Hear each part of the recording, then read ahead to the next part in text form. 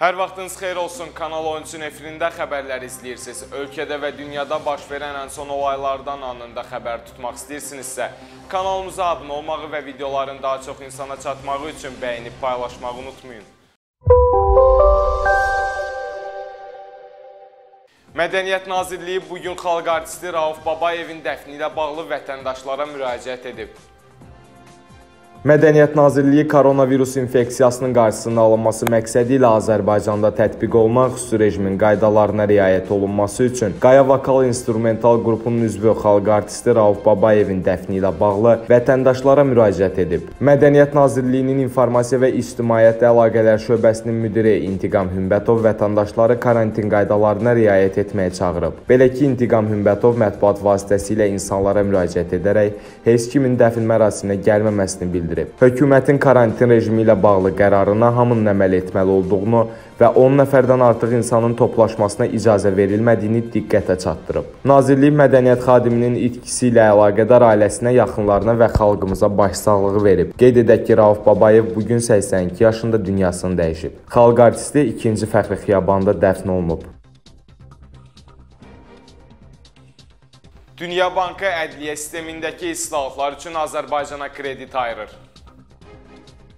Dünya Bankının İcraçı Direktorlar Şurası bu gün məhkəmə xidmətləri və ağıllı infrastruktur layihəsi üçün Beynəlxalq Yenidən Qurma və İnkişaf Bankından Azərbaycana 50 milyon ABŞ dolları məbləğində kredit ayrıldığını təsdiqləyib. Kredit 4 il güzəştli olmaqla 11,5 il müddətinə verilib. Layihənin icrası isə 4 il müddətinə nəzərdə tutulub və ümumi dəyəri 70 milyon dollar təşkil edir. 50 milyon dollar Dünya Bankının təqdim etdiyi vəsait, 20 milyon isə Azərbaycan hökumətinin payıdır. Kredit ehtiyatlarından planlarından bir neçə istiqamətdə istifadə olunacağı bildirilib. Belə ki, layihə məhkəmə xidmətlərinin təkmilləşdirilməsi, təsisat potensialının və səmərə dərəcəsinin yüksəldilməsi, məhkəmə infrastrukturunun genişləndirilməsi və yenilənməsi, məhkəmə sisteminin daha səmərəli işlənməsi üçün yüksək texnologiyaların tətbiq edilməsi nəzərdə tutulub. Dünya Bankının Azərbaycan nümayəndəliyinin rəhbəri Navid Nəqvi məhkəmə islahatının iqtisadi artım üçün əlverişli mühitin yaradılması, vətəndaşlara və müəssisələrə səmərəli xidmət göstərməyin açarı olduğunu bildirib. Qeyd edək ki, Azərbaycan 1992-ci ildən Dünya Bankının üzvüdür. İndiyə qədər Dünya Bankı Azərbaycana 50-dən çox layihənin həyata keçirilməsi üçün 3,5 milyard dollar kredit ayırıb.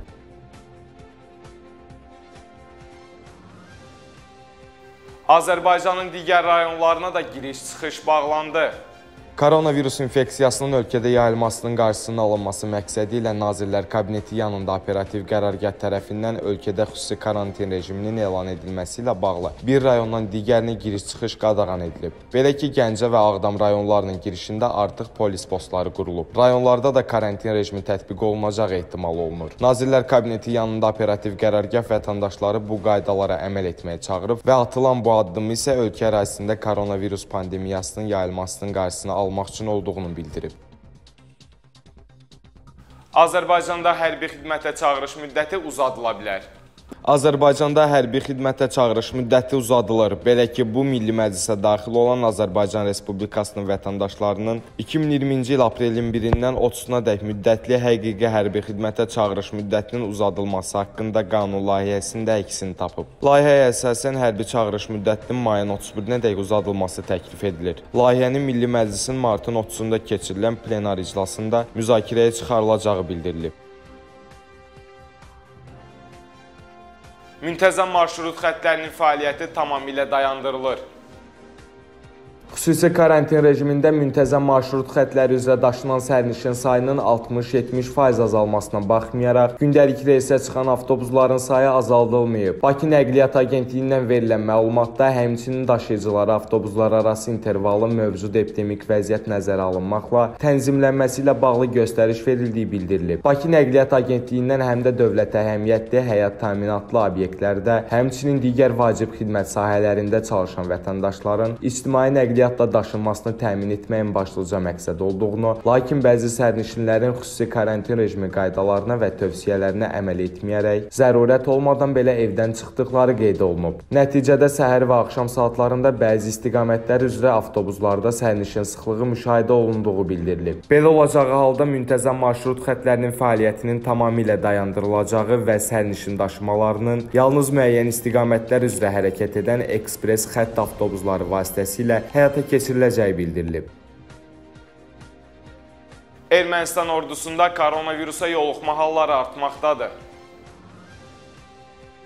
Ermənistan Müdafiə Nazirliyinin mətbuat katibi Şuşan Stepanyan artıq 5 hərbi qulluqçuda koronavirus aşkarlandığını bildirib. Qeyd edək ki, bundan əvvəl Ermənistanda bir hərbiçinin koronavirusa yoluxduğu açıqlanmışdı. Ümumilikdə isə Ermənistanda koronavirusa 329 yoluxma faktı aşkarlanıb. Britaniyanın baş naziri koronavirusa yoluxdu. Bu barədə isə özü paylaşım etdi. Böyük Britaniyanın baş naziri Boris Johnson yeni tip koronavirusa yoluxduğunu açıqlayıb. Bu barədə elə baş nazir özü Twitter hesabında paylaşım edib. Baş nazir son 24 saatda orta dərəcəli simptomlar müəyyən edildiyini və koronavirus testinin müsbət çıxdığını bildirdi. İndi isə özünü təcrid etdiyini və hökuməti videokonferans yolu ilə idarə etməyə davam edəcəyini qeyd etdi. Sağ olun, daim yenilənən kanalımızı izləməyi unutmayın.